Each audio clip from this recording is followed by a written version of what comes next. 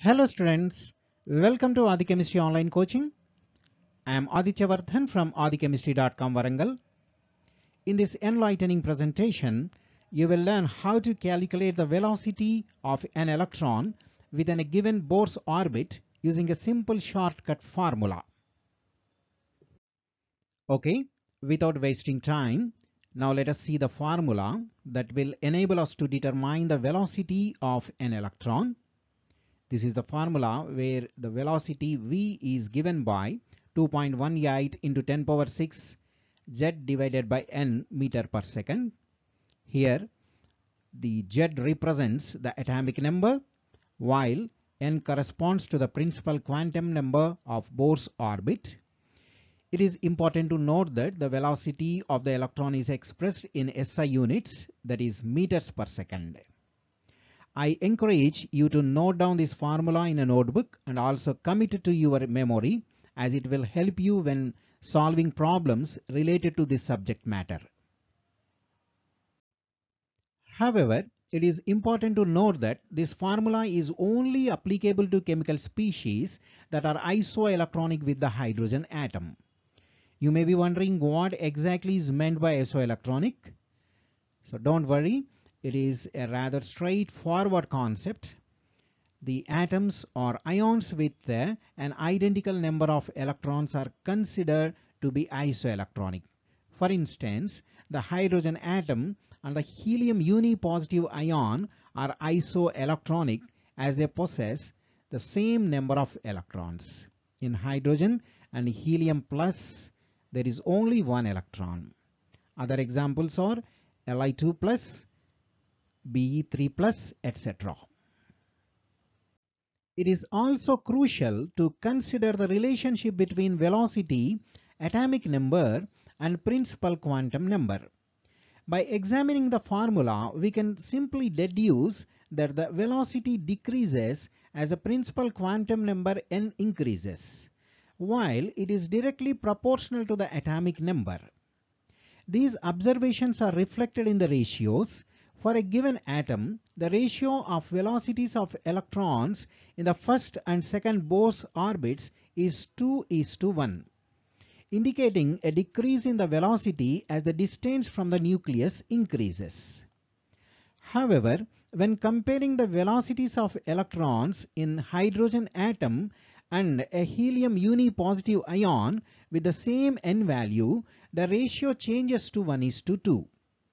This implies that the velocity of an electron in a helium ion is twice that of an electron in hydrogen atom considering the same n value.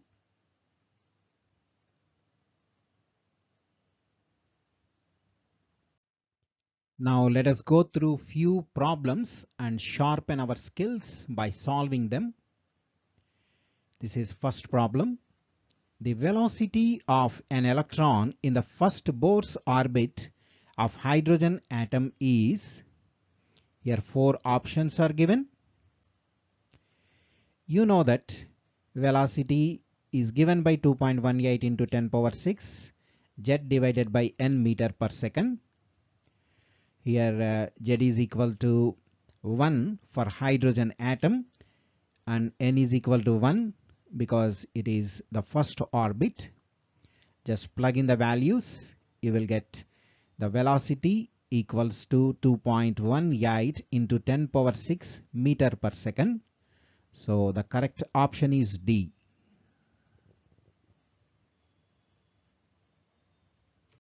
And this is the second problem. Here we have to calculate the velocity of an electron in the second Bohr's orbit of hydrogen atom. So formula is same. Z is equal to 1 because it is hydrogen atom but uh, n is equal to 2 because the electron is revolving in the second orbit. Just plug in these values. We will get 1.09 into 10 power 6 meter per second. You can clearly see the velocity is decreasing from uh, the first orbit to the second orbit. So the correct option is C.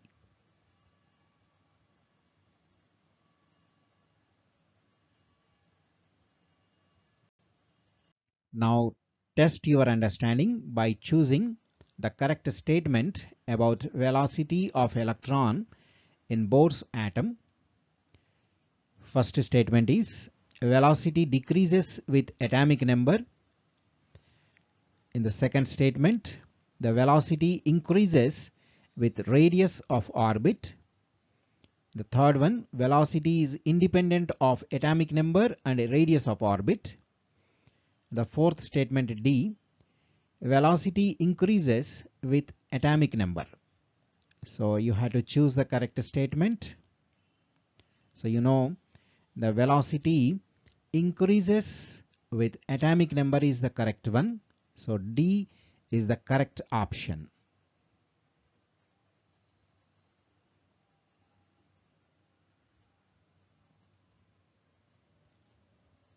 And this is the fourth problem. You have to find out the velocity of an electron in the first Bohr's orbit of helium uni positive ion. Formula is same and here Z is equal to 2 because it is helium and N is equal to 1 because the electron is revolving in the first orbit. Just plug in the values you will get 4.36 into 10 power 6 meter per second. Just compare this value with that of hydrogen atom. So the correct option is A.